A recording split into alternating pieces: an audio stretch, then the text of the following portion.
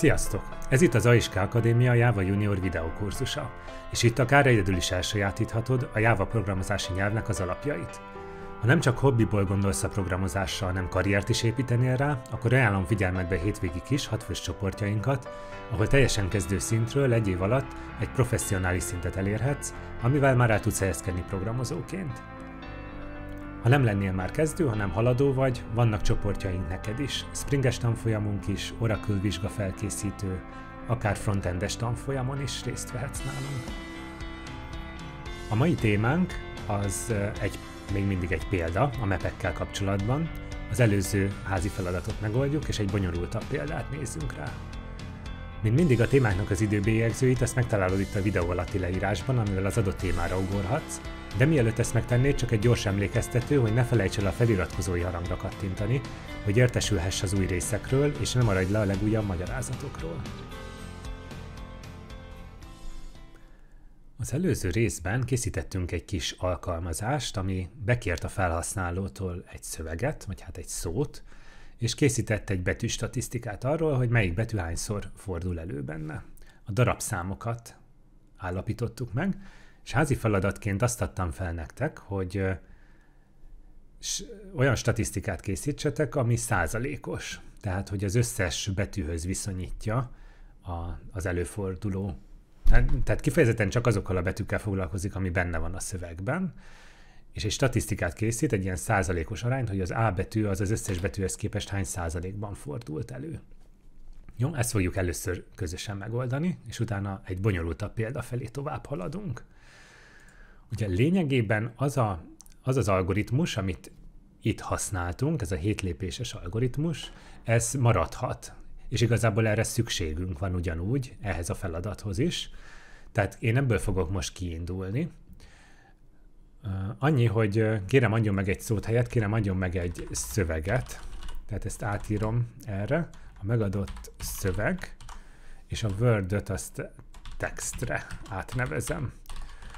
Itt most az Alt-Shift-R gyors billentyűt használtam, és az Enterrel nyugtázom azt, amikor átneveztem, és akkor minden előfordulását átnevezi ennek a változónak itt is, itt is ez a refactor rename. Igazából itt, meg még itt szerepelt. Jó, tehát hagyom ezt a programot úgy, ahogy az előző alkalommal megírtuk, mert itt igazából a for ciklussal ugye elkészítjük ezt a letter statistics nevű uh, mapet, és ezt fogom felhasználni arra, hogy utána kiszámoljam a százalékos arányokat. Talán ezt a letter statistics-et is átnevezem, tehát rákattintok, vagy ráállok a kurzorral a változóra, Alt-Shift-R, és ezt úgy fogom hívni, hogy letter count, vagyis betű mennyiségek, mondjuk. Tehát itt megszámolom lényegében, hogy melyik betű hányszor szerepel. Oké, okay. és akkor a for ciklus mögé jövök, tehát itt uh, ki is írhatjuk akár, tehát ezt hagyom, hogy lefusson úgy a program, mint eddig, csak kiegészítem új lépésekkel. Itt a nyolcadik lépés az az lesz, hogy elkészítjük a százalékos értéket tartalmazó mapet. Vagyis létre kell hoznunk egy új mapet, map, mindjárt kitaláljuk, hogy mi legyen a típusa a kulcsnak, meg az értéknek. Ezt fogom én úgy hívni, hogy letter percentages.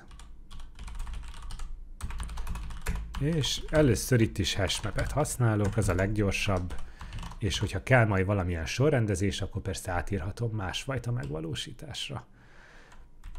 Nos, mi legyen a kulcsnak a típusa, és mi legyen az értéknek a típusa?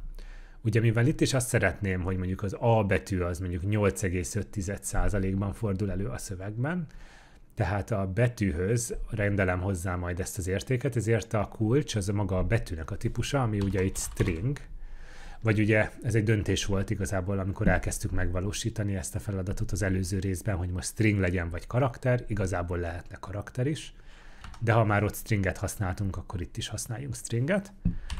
És akkor az érték, amit hozzárendelek a betűkhöz, az ugye egy ilyen százalékos érték lesz, tehát mondjuk 7,24 század százalék, Vagyis ez igazából egy double, egy ilyen lebegőpontos szám. Ctrl-Shift-O-val importálom a hashmap osztályt, és létre is hoztam egy üres mapet egyelőre, most már csak fel kéne töltenünk a betűkkel. Ehhez úgy, ahogy itt korábban, végig fogunk iterálni az összes bejegyzésen.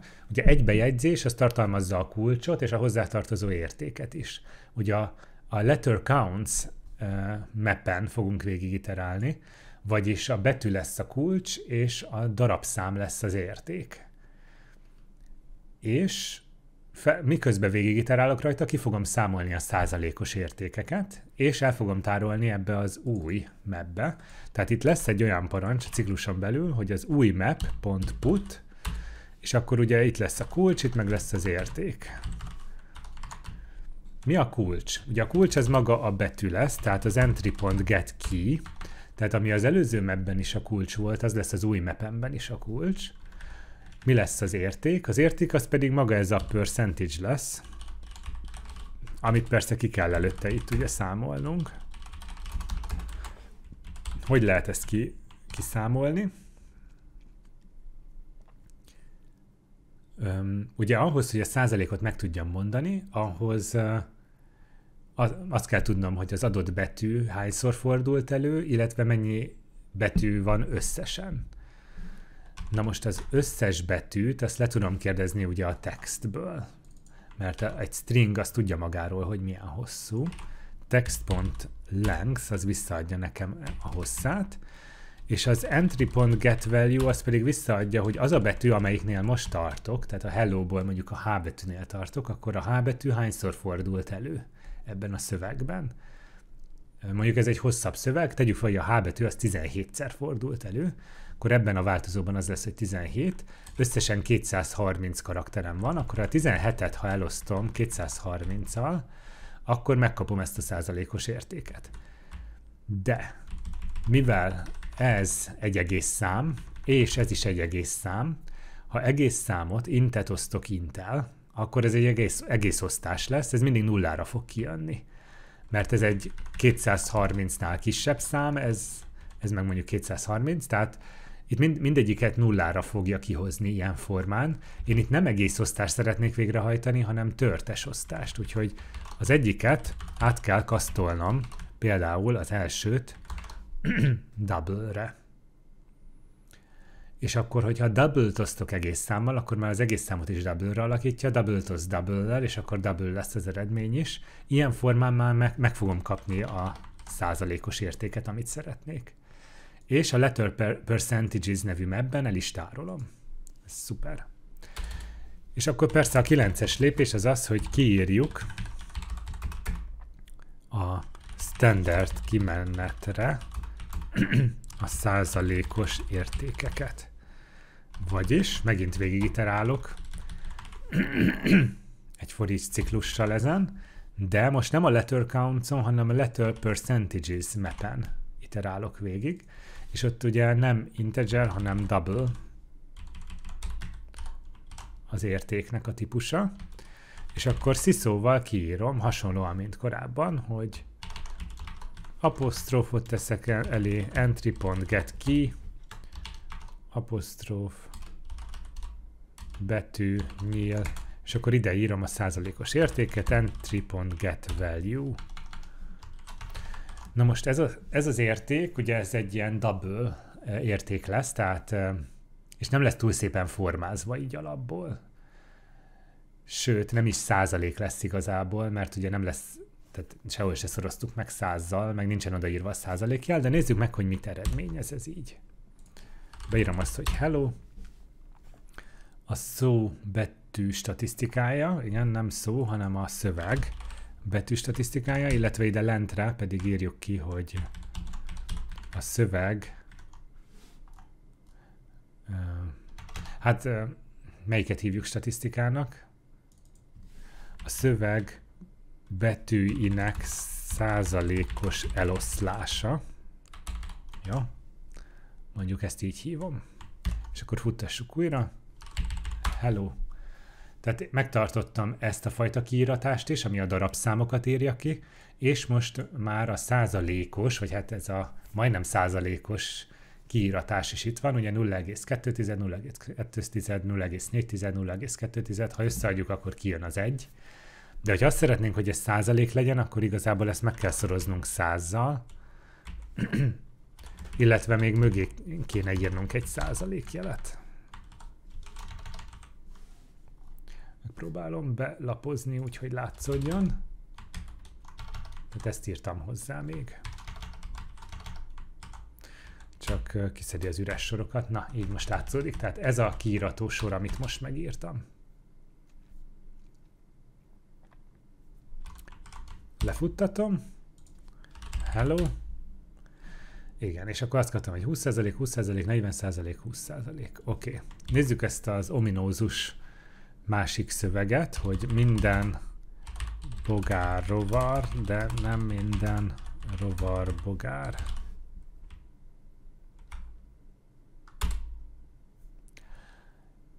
Nem annyira szép ez a formázás, de minden bizonyal helyes.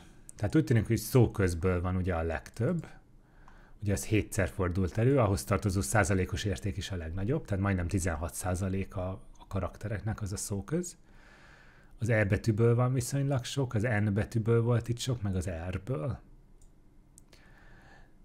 Picit szebben formázzuk ezt meg.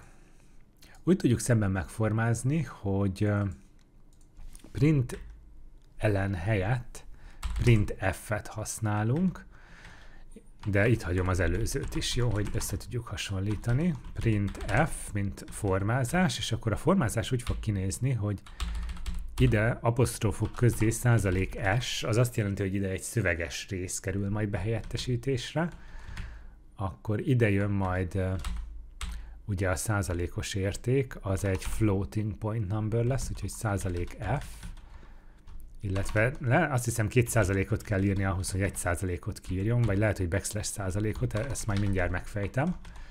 És akkor itt ugyanolyan sorrendben, ahogy azok a százalékos placeholderek előfordulnak a szövegben, ugyanolyan sorrendben kell megadni paramétereket, tehát a get key az az, ami ide fog kerülni, az első százalékos placeholder helyére, és ide pedig jön a value, ami entry.get value source 100.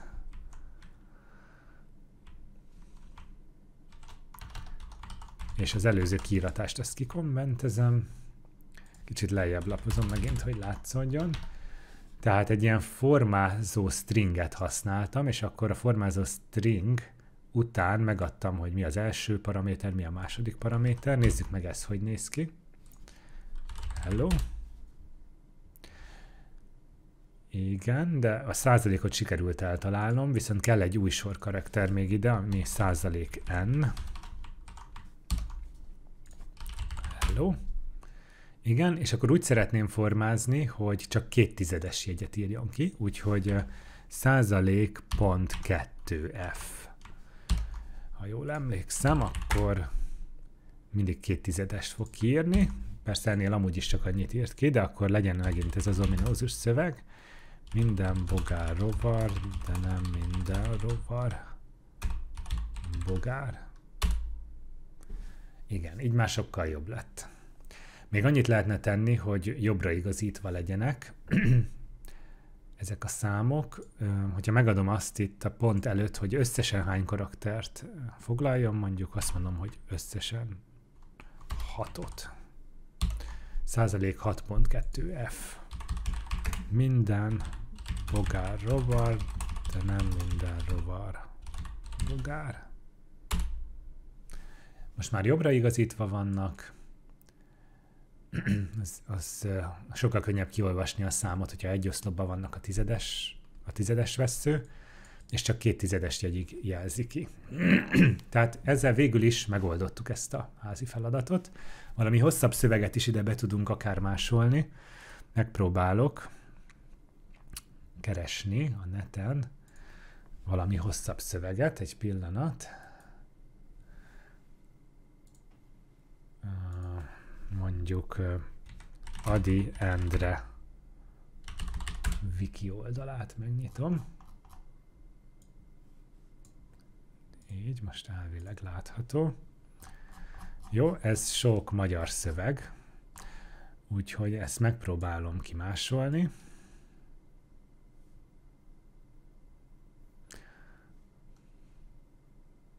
Mondjuk idáig.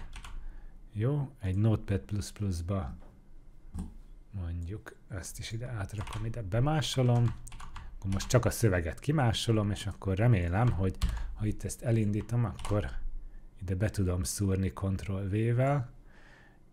Uh, jó, sikerült, csak szerintem az Entert is kimásoltam, úgyhogy mag, nem is kellett Entert ütnöm. Ennyi részét sikerült átmásolni, és akkor ennek a szövegnek a statisztikája készült el. Ez valószínűleg csak egy része annak, amit beszerettem volna másolni, de igazából most lényegtelen. Nézzük meg a statisztikát. Sok szóköz van benne, egy kerekzárójel volt, vesző pont is volt benne, számok is szerepeltek, nagybetűkből ezek, szögletes záró, zárójel, kisbetűkből abból sokkal több szerepelt, és akkor a százalékos eloszlás itt kirajzolódik, de ez még nem egy hosszú szöveg, érdemes lenne többet bemásolni, és akkor uh, itt megkapnánk igazából azt, ami a magyar nyelvre jellemző, de az ebből is látszik, hogy az elbetű például az nagy kimagaslik mondjuk a többi közül. Um, megpróbálok még rákeresni Adi összes verse. Hmm, nem tudom, hogy ezt itt egy le lehet-e valahogy tölteni. Itt struktúrálva vannak. TXT-ben le lehet tölteni vajon? Igen, úgy tűnik. A, Adi Endre összes költeménye.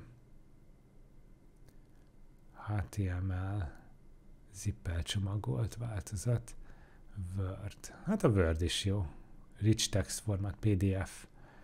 Jó, le, letöltöm Wordben. Megnyitom.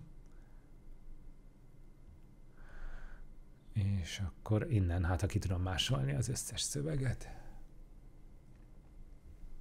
Ez is a másik képernyő nyílt meg azon meg most nem látom, hogy hogy néz ki. Na mindegy, akkor RTF-be letöltöm.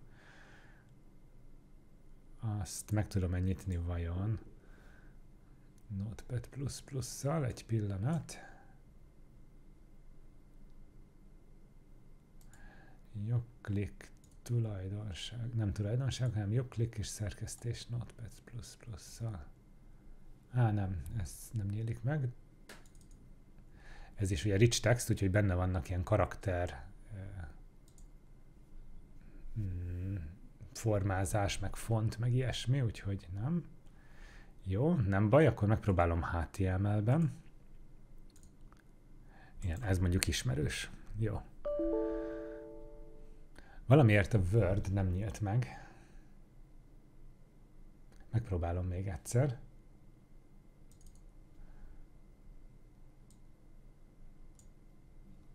Aha, ja jó. Most látom, azt írja, hogy Office, kis türelmet, frissítjük az Office-t. Jó, oké, na frissítse csak. Uh, akkor addig is nézzük még egyszer át a kódot, jó, hogy mi, mi hogy néz ki, és akkor, hogyha sikerül megnyitni, akkor az adi összest is bemásolom, és megnézzük, hogy mi a betű statisztikája annak. Tehát, felhasználó interakció van ugye ebben a programban, úgyhogy szkennert használunk, ezt a try with resources konstrukcióval a main metódus első utasításaként megnyitom, és ugye ez ahol bezáródik, az a main metódus is ahol bezáródik az előtt. Ennél a pontnál magától a close metódus meg fogja hívni, és, és ezért nem fordul elő ez a resource leak, ez az erőforrás szivárgás, ami nagy programoknál gondot okoz. Jó, tehát ilyen módon biztosítottuk azt, hogy a szkenner biztos, hogy be legyen zárva. Oké, bekérünk a felhasználótól egy szöveget stringként, létrehozunk egy üres mapet, egy tree mapet, ami a kulcsokat ABC sorrendben tárolja, végigmegyünk az összes betűjén ennek a szövegnek, és átalakítjuk stringé a karaktert.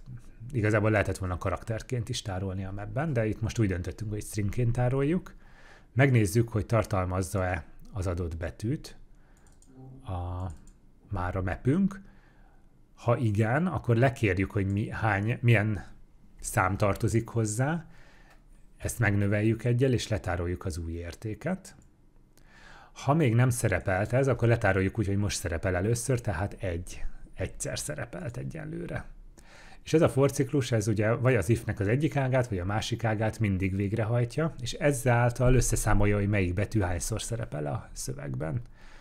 Utána kiírtuk a standard kimenetre, hogy melyik betű hányszor szerepelt, elkészítettünk egy új mapet, ahol most már double-t rendeltünk hozzá a stringekhez, tehát a betűkhöz, és százalékosan kiszámoltuk, elosztottuk igazából az előfordulást az összes betűnek a számával, és utána kiírtuk a standard kimenetre a százalékos értékeket úgy, hogy megformáztuk a printf-fel ezeket az értékeket. És még mindig valamiért nem nyílt meg menet közben ez. Még mindig, ha újraindítom, mindig azt írja, hogy az Office-t frissítjük. Mindegy. Oké. Okay. Uh, annyit tudunk még tenni, hogy ebből a szövegből kiszedem az összes az összes entert. Az összes entert lecserélem semmire, tehát akkor egy sorban lesz az egész. És ugye a másik, az enternek a másik összetevőjét is. És ezt akkor most már be tudom másolni. Ez egy nagyon hosszú szöveg, ez 64 ezer, majdnem 65 ezer karakter. És akkor ezt bemásolom ide. Enter. És akkor most Oké, okay, egy-két furcsa dolog is került bele, ilyen kanjik, mert ugye linkeket is másoltam, de hogyha azoktól eltekintünk, akkor itt vannak értelmes betűk is. A magyar ö, nyomtatott nagybetűk, ugye kisbetűk, és látszódik, hogy több ezer ö, betű is szerepelt benne, tehát most egész jó lesz a statisztikánk. Persze nyilván ki kéne szűrni belőle azokat a hibás karaktereket, de ezzel most nem foglalkozok, mert ugye most csak úgy átmásoltam a netről, és véletlenszerűen lehet, hogy úgy értelmezte, hogy ez valami egyéb karakter. Minden esetre látható az, hogy a magyar betűkből, mondjuk megint nézzük meg a kis E betűt, az viszonylag mérvadó, az látszik, hogy megint kiemelkedő. De az I betű is. Ugye általánosságban a magánhangzókból azért több van, mint más hangzókból és látszik az is, hogy az R, meg az S, meg a T az eléggé sokszor szerepel. Tehát ilyen formán minél több szöveget megadunk neki, ami magyar szöveg, annál pontosabb statisztikát láthatunk a magyar nyelvben lévő karakterekről, ami, ami jellemző egyébként így a különböző országoknak a nyelvére. Úgyhogy ez volt a házi feladatnak a megoldása. Oké, okay. illetve egy nagyobb feladat, de még van még egy nagyobb, aminek egy részeként ezt fel tudjuk használni. És ennek a szövegét szeretném most itt elmondani nektek, és házi feladatként ezt feladni, hogy gondolkozzatok rajta, hogy hogy lehetne ezt megoldani. A lényege az az, hogy anagrammákat keressük, keresnénk. Anagramma kereső. Jó? Házi feladat. Egy anagramma kereső megvalósítása megtervezése és megvalósítása. Mi az az anagramma? Lehet, hogy nem lesz szakszerű az a, amit, az a megfogalmazás, amit én itt megadok, de én anagramma alatt azt értem, hogy vannak betűink, és annak a, tehát van egy szavunk, és annak a szónak a betűit, hogyha megcserélem, akkor abból egy másik értelmes szó jön ki. És akkor ezeket, ezt a két szót, ezt én anagrammának hívom. Anagramma, anagrammának nevezzük azokat a szavakat, amiknek a betűit, ha permutáljuk, akkor megkapjuk a másik szót. Jó, erre is megpróbálok rákeresni. Magyar anagrammák. Biztos vannak itt példák, igen. Róka, karó, étel, élet, kapu, kupa, alszik, szikla. De vannak egész hosszúak. Kényszer, szekrény, kolostor, rostokol, szorgalmi grimaszol. Szóval eh, érdekes. Nyilván itt valahogy szükségünk lenne értelmes szavakra, tehát ugye a programmal nem tudunk kitalálni értelmes magyar szavakat, ezeket eh, valahonnan szednünk kell, ezt a magyar korpuszt. De a neten, hogyha rákerestek arra, hogy magyar szavak listája, vagy hasonló, akkor ott találni fogtok ilyet. Ezt meg tudjátok adni a programnak, hogy na ezek az értelmes magyar szavak, akár több száz vagy több ezer szót össze tudunk ilyen formán szedni, és akkor ezeket a szavakat kell feldolgoznunk valahogy. Ezeket kell megvizsgálnunk, hogy melyik az a szó, ami kijöhet úgy, mint egy másik szóba, mint egy másik szó, de úgy, hogy megcseréljük benne a betűket. Jó, tehát ez lenne a feladat. Ide is írom a segítséget, jó? Hogy az internetről magyar szavak listáját keressétek ki. Kerest ki. Ezt használt fel a programhoz. És akkor írj algoritmust, ami hatékonyan kikeresi a szóhalmazból az anagrammákat.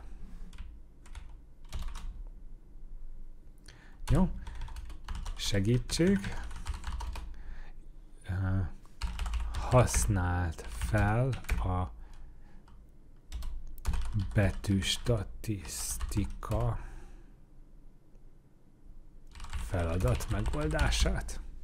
Jó, tehát ez az, amit vettünk, ez igazából szinte egy az egyben felhasználható az anagramma kereső programhoz is. Tehát ezt nyugodtan használjátok fel ennek részeit, és a lényeg, hogy próbáljátok meg megtervezni, és egyedül megvalósítani ezt az anagramma keresőt.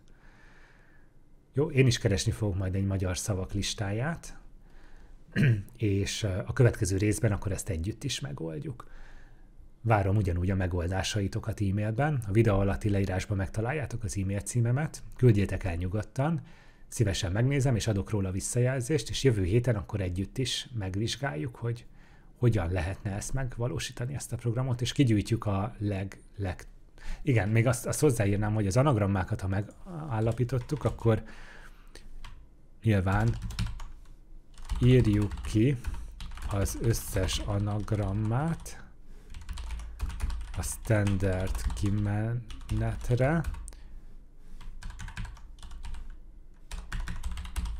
írt ki az összes anagrammát a standard kimenetre, írd előre azokat, amiből több van. Ugye lesz olyan szó, amiből, hogyha összecseréljük a betűit, akkor kijön egy másik, meg egy másik, meg egy másik, és lehet, hogy vagy 3, 4, 5, 6 szó is kijöhet. Ezeket listázzuk elől, amiknek sok anagrammája van, és azok legyenek alul, amiknek kevesebb. És hogyha valaminek nincs anagrammája, akkor azokat ne írjuk ki természetesen. írd előre azokat, amelyeknek több anagrammája van. Jó, tehát ez a feladat. Várom akkor a megoldásaitokat, jó munkát kívánok hozzá, és jövő héten akkor megoldjuk együtt. Jó tanulást addig nektek! És ezzel a mai rész végéhez is értünk. Köszönöm szépen figyelmed! Mint mindig most is várom észrevételeidet és kérdéseidet a videó alatt komment formájában, vagy a Premiere vetítés alatt akár a chat ablakban. Ha tetszett ez a rész, akkor kérlek hozd meg. Ne felejtsd el megnézni az előző heti részt sem, ahol egy egyszerű példát néztünk a mapek használatára. Nézd meg ezeket a videókat is, és iratkozz fel csatornánkra, hogy még több programozással kapcsolatos tudásra tehess szert.